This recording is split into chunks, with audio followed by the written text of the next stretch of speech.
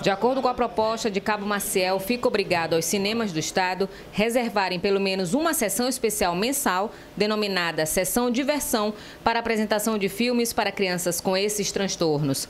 As sessões especiais contarão com iluminação reduzida, som mais baixo que o volume regular e não exibirão trailer no início do filme.